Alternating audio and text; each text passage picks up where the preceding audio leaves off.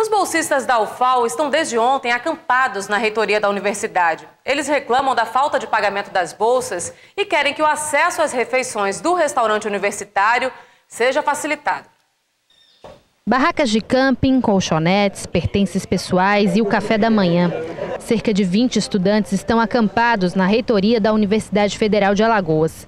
A principal reivindicação do movimento unificado dos bolsistas é o atraso do pagamento de bolsas de estudo, que em alguns casos chega a três meses. A direção da UFAL propôs uma reunião com uma comissão de alunos mas eles querem a participação de todos os bolsistas. Ele tem que conversar com todos os estudantes, tem que ouvir todas as especificidades que estão acontecendo aqui, que cada caso é um caso. O reitor da UFAL não concorda com essa reunião com todos os estudantes por questão de organização.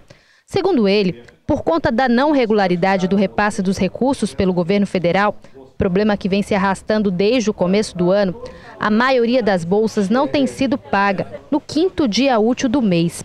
Eurico Lobo nega que há bolsistas sem receber por conta desse problema. Hoje fica difícil, por exemplo, nós fazermos uma projeção que nós tínhamos no passado de pagamento, por exemplo, no quinto dia útil.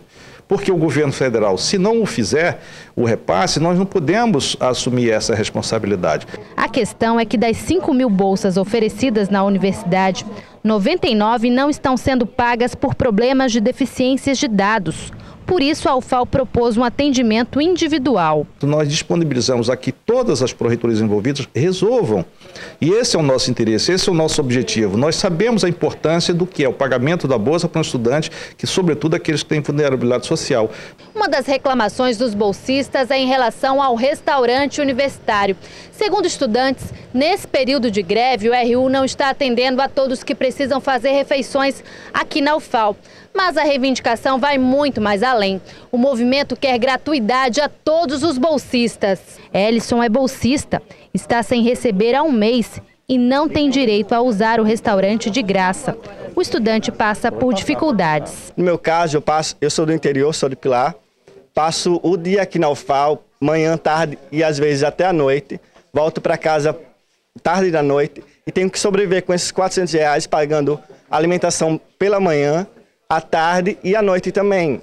Nesse período de paralisação, o RU tem funcionado de forma parcial. A direção da UFAL está fazendo um levantamento para avaliar quem realmente tem direito à gratuidade, para que seja contemplado com os serviços do restaurante. Aqueles que estão necessitando do RU ou que estão em alguma atividade, que seja encaminhado através dos estudantes, dos seus orientadores, o nome dos bolsistas que, que efetivamente vão usar o, o restaurante, para que nós tenhamos o planejamento.